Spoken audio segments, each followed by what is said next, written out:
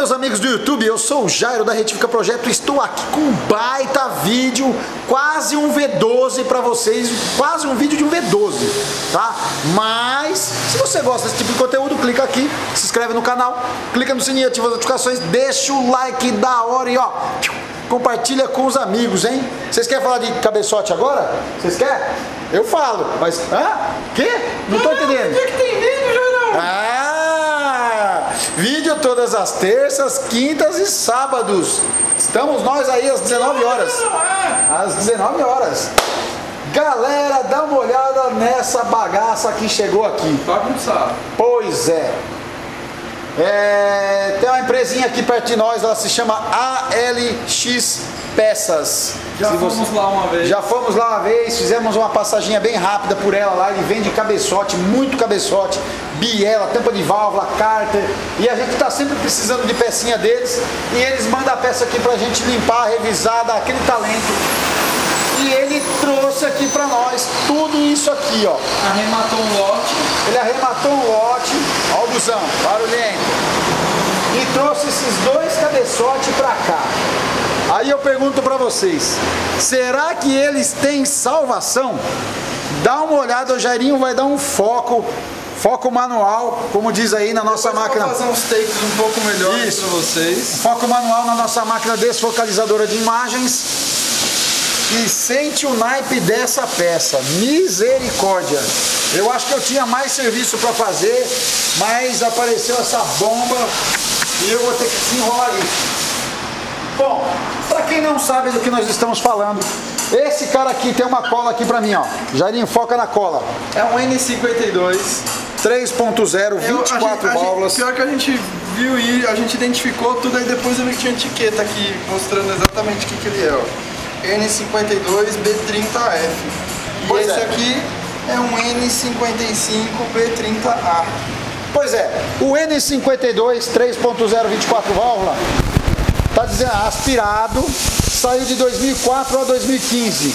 325, 525, Z4, Z5i, 528 e é o que aqui? X1 328 Ah, não, não, não, não, Pronto. É carro pra caramba, Tudo galera. isso aí, todas as contas BMW que o cara pensa em, em em- em acelerar sem dó e pensa num motor que aguenta cacete. Pensa.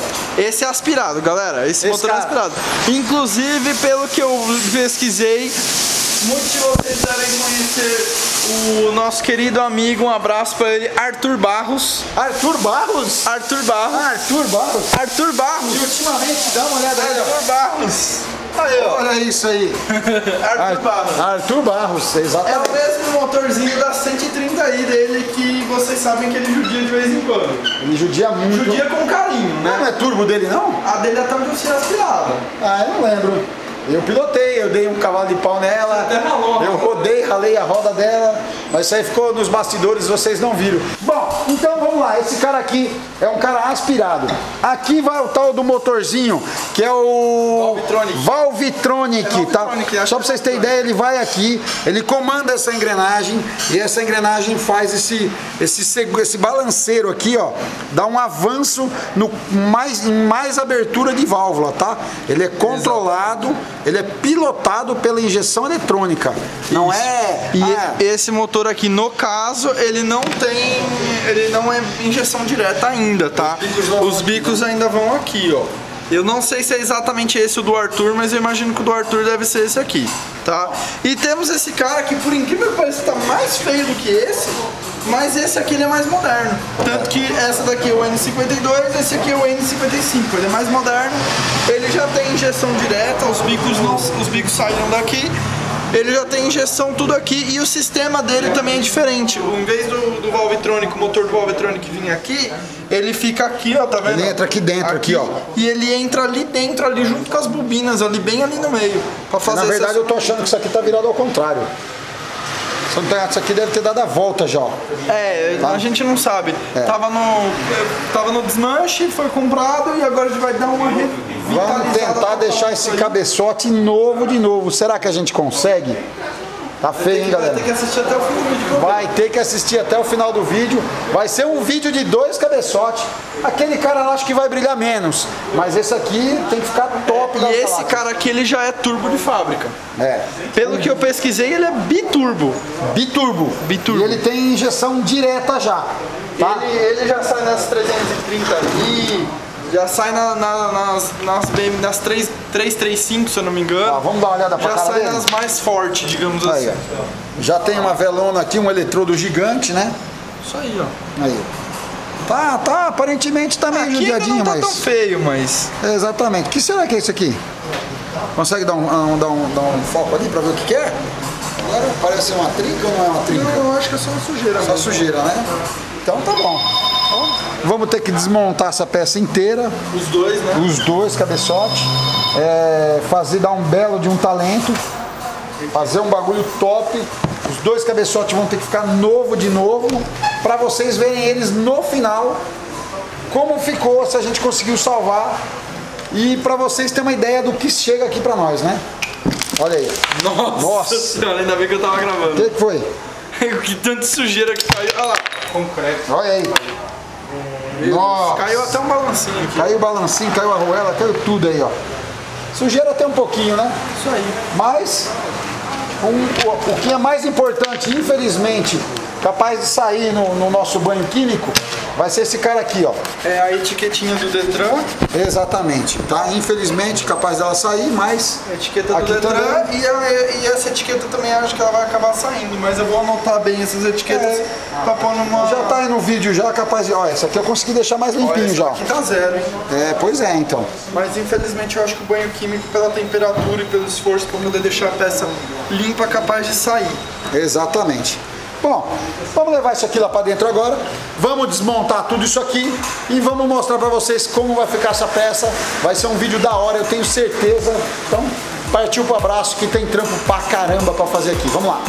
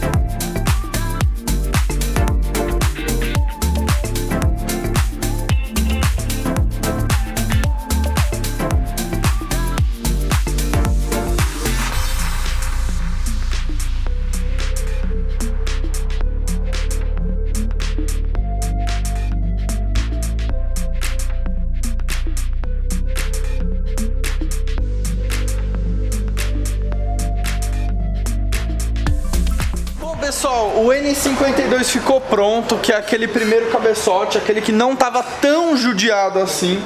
Como ele estava um pouco mais bonito, a gente acabou dando um pouco mais de prioridade para ele, porque é uma peça assim, tava mais fácil para retificar, certo? Eu não gravei exatamente tudo para vocês, não fiquei falando muito, porque é um cabeçote muito complexo, você não pode ficar muito no pé do, dos cabeçoteiros para poder trabalhar nele. Então você tem que deixar meio que assim, deixa fluir, porque é uma peça bem complexa, certo?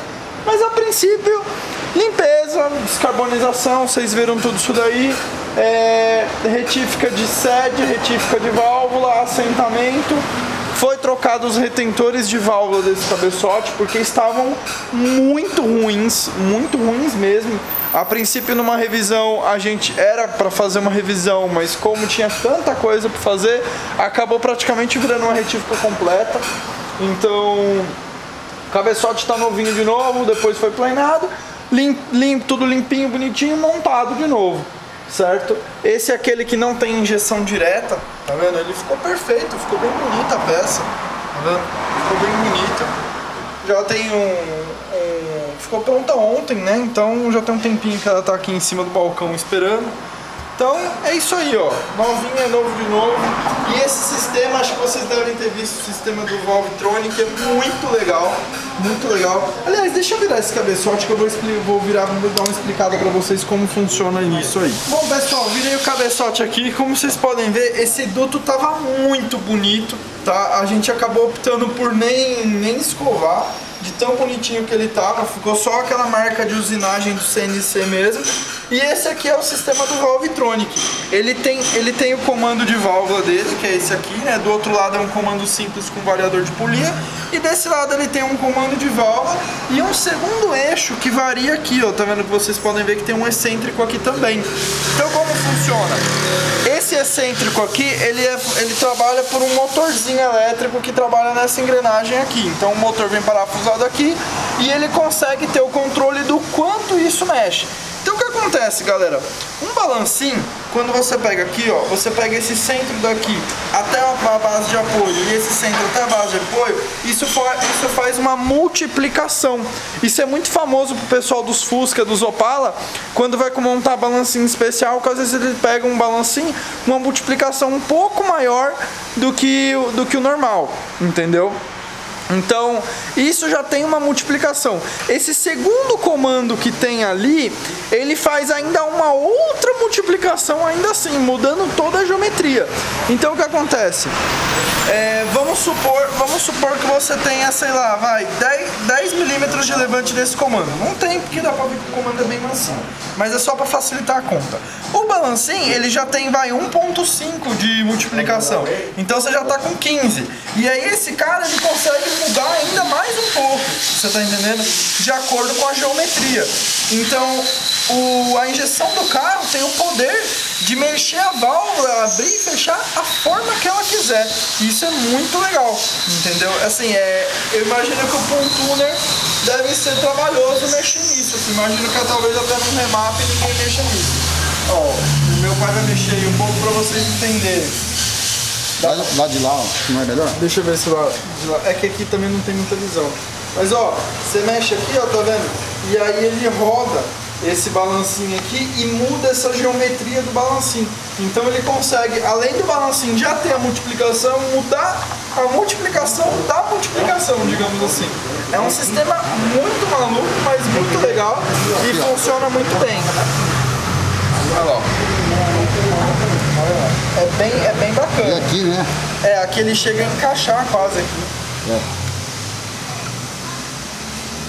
É bem, é bem, é, É, bem ficou maluco. pesado, mas aí precisaria ter o motor funcionando, com a rotação e tudo mais. Exatamente. É uma forma de criar uma variação aqui um pouco maior, né? Ele dá, acaba dando um pouco mais de margem do que simplesmente a polia aqui, porque além disso ele ainda tem a polia variável aqui, ó, dos dois lados. Então ele varia aqui, varia aqui e varia aqui. O quanto ele não consegue fazer. Ele consegue ah, variar a fase do comando e ainda prolongar o cami, né? Exatamente. É bem maluco, galera, mas funciona bem pra caramba e por isso que vem tanta potência nesses motores com esse sistema. E nesse motor aqui, nesse sistema? Calma, calma, calma, esse daí a gente eu ainda não mostrei. Ah, não? Mas pra, pra quem não sabe, até mesmo os N20, N20, é o N20, né? O 2.04 que é. turbo. Isso. Acho que é. Que sai nessas novas aí, tem esse mesmo sistema. E é engraçado que você pega a 320 e a 328, que é praticamente o mesmo motor, se eu não me engano é até o mesmo motor, mas você pega uma 320, faz um remap e vem mais de 100 cavalos. É muito maluco, muito maluco mesmo. E bom, já que a gente falou um pouco sobre o sistema de Valvetronic, deixa aqui embaixo, põe nos, teus, põe nos comentários aí o que, que qual a dúvida que vocês têm disso, o que mais vocês querem saber. De repente a gente dá uma explicação um pouco mais precisa no vídeo de terça-feira, entendeu? Então é bem legal.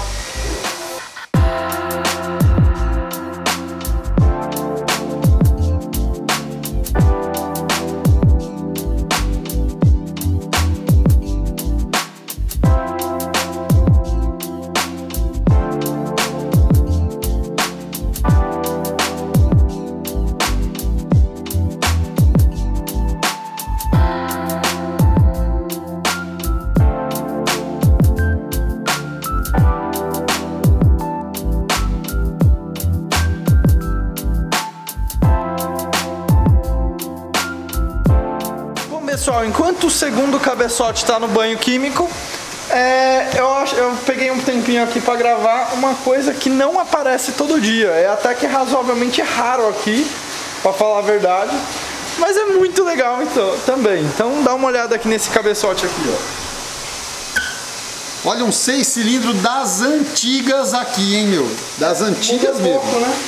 Muda pouco, é, muda pouquinho. Um é. pouco. Ali você tem dois comandos, com variação nas duas polias, com variação no segundo e no outro comando.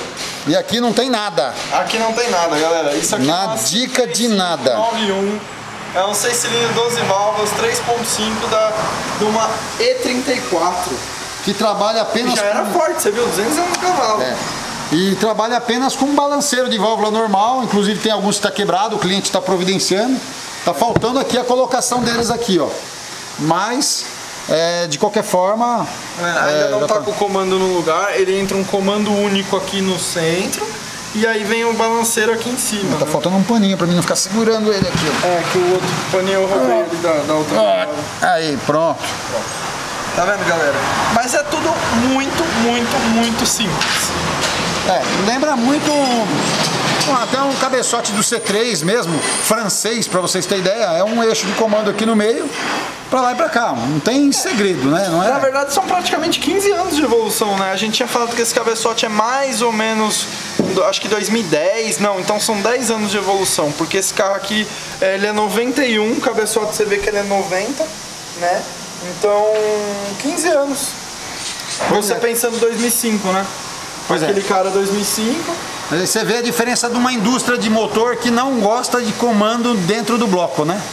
Ela gosta de comando em cima do cabeçote. ó. Exatamente. Comando aqui, ó. O comando tem que trabalhar aqui, mandando aqui nas válvulas já.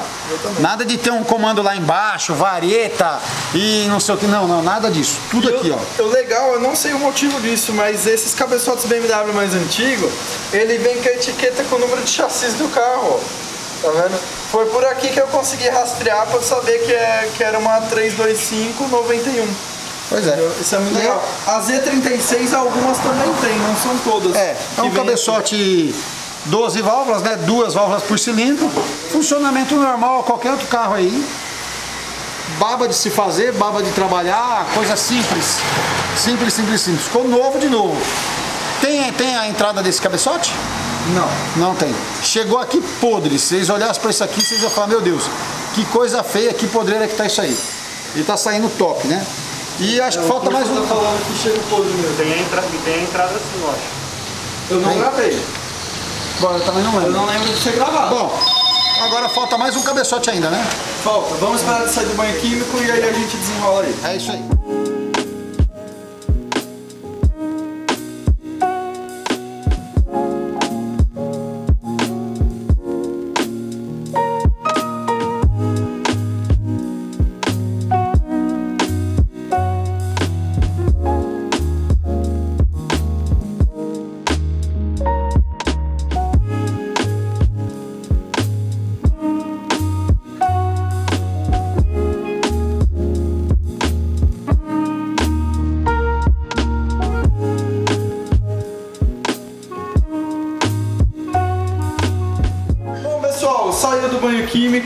Mandei dar um talento nele. Uma foi- bela de uma escovada. Jateou, escovou, deu um belo um talento pra gente conseguir realmente enxergar quais são os pontos que, que ele, tá, tão- ele tá ruim e quais são os pontos que ele está bom. No visual vocês vão olhar e vão falar assim, mas Jairão, tem certeza que essa peça tá ruim? Mas uma coisa bem interessante que vocês, não sei se vocês notaram no outro lá, ó, vai um comando aqui desse lado, na lateral do cabeçote, e outro comando pro lado de cá também, ó, que é o Esse que seria esse comando aqui, Exatamente. que é o que eu expliquei pra vocês, que ele faz essa variação da multiplicação do balancinho. exatamente, esse cara ele vai Eu, aqui. tem é, ah, é aqui é justamente o. É o batente dele, né? Isso, é o botão. É, eu não me recordo como é que. Ah, passou. Esse cara vai aqui. Isso aí, ó, tá vendo? E aí ele controla, vocês, vê, vocês conseguem ver que ele tem uma parte com menos avanço e uma parte que avança bastante, né? Então, ó, um zoom aqui. E é assim funciona, funciona esse, esse sistema de variador. Na verdade eu tô colocando ele pro lado errado, tá? Ele vai assim, ó. Esse aqui é stop, ó. Ah, esse é o batente, por isso que É. não tá sendo tão fácil. Exatamente. Olha lá. Esse aqui é o stop. Olha lá o stop aqui, ó. Tuque. É, tem, ele tem até um buraco. Esse, que é exatamente, exatamente. O motor vem por aqui. Exatamente. Né? Ah, só que aqui, galera, nós encontramos os seguintes problemas. Quais problemas? Tem a corrosão. Primeiramente as corrosões. Mostra aí, filhote. Ó, calma. Tá- Por aqui. Ele tá judiado. Você fala, ah, mas não tá tão feio. É, se vocês olharem um que não foi judiado, digamos assim, ó, olha como tá muito mais bonito. Aqui Exatamente. ele acaba ficando feio. Funciona. Funciona, sem problema nenhum. Isso aqui não vai dar problema nenhum. Aqui talvez teria que passar uma. A hora que for montar isso aqui, teria que talvez passar uma colinha a mais aqui na junta. Talvez não somente a junta seria o suficiente, porque existe justamente essa parte de corrosão, tá vendo? Alguns dos tuchos ficaram engripados aqui, a gente ainda Não tem um trabalho sair. de sair e tirar eles. De Ah. resto, ó, vocês verem que não tá tão judiado. Mas olha essa corrosão aqui, galera. É, isso judia um pouco. A gente consegue consertar isso, tá? Porém, porém, por que não consertaremos agora, já, nesse instante? Porque não, porque esse cabeçote em si ele tem mais coisas danificadas nele. É, isso aqui, isso aqui assim, a gente não pode planear até sair, porque senão mata o cabeçote. É, Então teria que fazer uma. encher de solda. Isso, uma recuperação de Exatamente. solda em diversos pontos, tá vendo? ó? É, olha Mas é possível e por se tratar de uma peça rara, digamos assim, vale a pena. É, mas é um processo meio caro aí, né? A gente investe um belo de um trabalho aqui pra peça ficar parada, às vezes a gente prefere ficar com a peça parada e quando chega a hora necessária, a gente vai lá e fala, ó, vamos gastar que agora tem. Só que olha aqui, por exemplo, O ó. ponto X da questão foram os comandos de válvula. É, olha esse comando aqui pra vocês terem ideia. Aqui foi todo trabalhado, tá? ó. Esse aqui foi o melhor que a gente conseguiu chegar da condição precária que ele se encontrava. Porém, olha do lado que a gente deixou pra vocês verem, ó. Olha aí, ó. Esse aqui a gente nem escovar, a gente escovou, só lavou só e falou, meu, é melhor parar, não fazer isso aí e chega. E nesse meio inteirinho a gente encontrou essa outra peça aqui na mesma situação e olha só. O- Que foi o X da questão pra parar. Olha aí quem apareceu aqui para nós. Aí esse cabeçó, esse comando de válvula, ele estaria condenado por esse motivo. Então a peça já ficaria incompleta porque falta um comando. E Certo? um balancinho que também não temos. Exatamente. Então, por não ter um comando e não ter um balancinho para tudo, não vai valer a pena investir trabalho nessa peça aqui. Se tivesse tudo, com certeza faríamos todo esse enchimento aqui. Essa peça aqui, quem olhasse ela, só quem manja mesmo ia falar assim: eu tô, eu consigo ver que aqui foi feito um trabalho de solda, alguma coisa. Senão, não vê. A pessoa olha e fala: caramba, é, tá igual esse aqui. E Ó. funciona perfeitamente. Funciona perfeitamente, exatamente. Então o que acontece? Por se tratar de uma peça de venda, acaba não valendo a pena ter um investimento tão alto, porque os retentores de válvula desse cabeçote já são muito caros. Dá, dá 500, 600 pau de retentor de válvula, não é? Por aí. E assim, teria esse custo, teria que achar um comando de válvulas para pôr e um único balancinho para colocar. Então o que acontece? Se torna muito investimento para ficar na prateleira parada. Então se torna uma peça que às vezes dá mais dinheiro do que ela retificada. A gente começa a vender os pedaços dela. O cara, pô, a minha perdeu dois balancinhos. Você tem? Tenho. Custa X cada um. Pô, eu preciso Preciso- também das molas, da trava. Válvula da admissão. E aí nós vamos vendendo os pedaços e Exatamente. paciência, vai picotar a peça mesmo. É assim que, que às vezes a retífica tem um bocado de peça, porque ela compra, arremata um lote, e aí naquele lote tem uma peça condenada, né? Ó, essa aqui eu comprei também. Ah, quer dizer, eu não, né? Vamos trazer pra cá. Isso aqui chegou ontem, já tá com deles. Tem duas peças, uma bem parecida com a outra. Também veio de um lote aí que ele comprou. Esse é um N20 pelo que eu vi. É. Ó, injeção direta já. E na verdade é o irmão mais novo desse cara aqui, não é? É, na verdade esse aqui é o irmão que sai na série 5, né? O irmão rico. E é o aí, irmão pobre. e aí quando o cara não tem muito dinheiro, aí ele pega um desse. Irmão rico e irmão pobre. Você Ou vê- primo, né? Pode É, ser primo também. Você vê muita semelhança, ó, até o desenho aqui da parte da corrente, ó, até Da água aqui, ó, tudo, ó. É tudo muito parecido. Os É, sensores que vai na frente, é, muito é, é parecido. praticamente esse cara aqui, só que cortou aqui, entendeu? Exatamente. Esse aqui também tomou uma cacetada boa aqui, ó. É que na verdade tem lugares, lojas aí, ó, que eles jogam a peça de qualquer jeito, não tô nem aí. Zero cuidado, né? A gente vai deixar isso aqui com cara de novo. Novo, novo, E novo. pronto pra funcionar por muito tempo. Exatamente, na- exatamente. E aí fica aí, o primo rico e o primo pobre. E partiu, vamos lá entregar isso aqui, filhote? Calma. Calma. Calma, calma. O que temos? Ah, Mais um pra fechar o combo. mais um pra fechar o combo, então vamos puxar É, pra quem não sabe, a gente já tem um vídeo sobre BMW, sobre cabeçote de E36, que a gente pegou um monte de cabeçote Levanta de a frente aí. E36. É pesado, hein? Esse é pesado. Clica aqui, ó, e assiste esse vídeo que ele ficou muito legal. A gente mostrou toda a parte de trinca. Nossa, mostramos um monte de coisa. Ficou um vídeo super completo. Até pra quem já assistiu, às vezes vale a pena reassistir, porque é um vídeo muito bacana que deu bastante trabalho pra ser feito. Essa peça ela tá toda retificada já. Essa peça aqui não é deles, mas ela é de um cliente nosso que tá aqui para vir retirar. A gente só aproveitou as imagens aqui para mostrar para vocês. Então, então temos assim, ó, ó, não temos todas as gerações no balcão. Mas digamos assim, é, do que tem no balcão, esse seria o primeiro. Aí vem pra esse cara aqui, vem pra esse cara aqui, aí vai pular pra aquele cara de lá e depois pra esse cara aqui. Exatamente. Entendeu? Um comando só, dois comandos, aí depois pulou dois comandos com vanos, né? Esse cara tem, tem, Tem isso. sem vanos. Isso. Aí pula pra aquele cara lá que tem o variador de polia e o Valvetronic. E aí depois pula pra esse cara aqui que ele já tem injeção direta e a turbo. É isso aí. Então, agora partiu carregar e levar isso aí lá para eles lá. Vamos lá. Isso aí.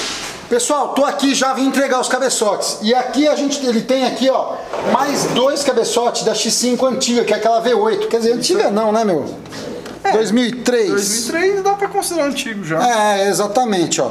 Dá uma olhada, ó. Olha é, como era antigamente, ó. Não tinha nada daquela parafernália que vai em cima dos cabeçotes, ó. Esse aqui você vê que ele já é dois comandos e ele já tem um sistema de variador na, na admissão já, ó, tá vendo? É, uma, Uma um pouquinho um pouco maior. tá Na vendo? verdade, ele deve atrasar, deve adiantar e atrasar tudo aqui, né, ó. É, então teria que estudar pra ver, eu não sei ao certo como que é, mas ó, aparentemente, ó, aqui tá a solenoide que faz esse controle, a polia do, do cabeçote deve vir encaixar nesse daqui e aí ele deve variar aqui nessa parte interna aqui. Aí deve variar os dois ou talvez varia só um, não sei como funciona. Exatamente.